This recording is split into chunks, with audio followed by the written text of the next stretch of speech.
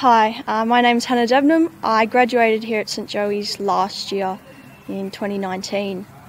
I think um, what's really special about St Joey's and how it helps you to achieve all your goals academically and, and personally is a culmination of a lot of little things that a lot of the time you might take for granted or you just don't even notice. So, for example, at the start of all of our lessons, we always knew exactly what it was that we had to achieve by the end of that lesson. And as a result of that, you didn't have to rely so heavily on being told exactly what to do. So you could really develop as, as quite an independent learner. You could work out for yourself where your problem areas were and how to fix them. This ability to think for yourself really helped you to think laterally and approach problems in a way that maybe you wouldn't have thought of um, under different circumstances. And I think that's a really valuable skill to have.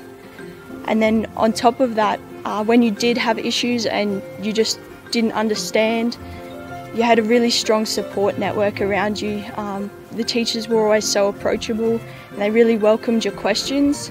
As a student, it really encourages you and, and gives you the confidence to look into more challenging and complex uh, scenarios and problems because you know that if you have those issues, you have that support network to fall back on and they're always there to help you. So, since graduating here at St Joey's, I've taken a gap year um, with the plan to start studying in Western Australia next year, a Bachelor of Science, uh, majoring in chemistry.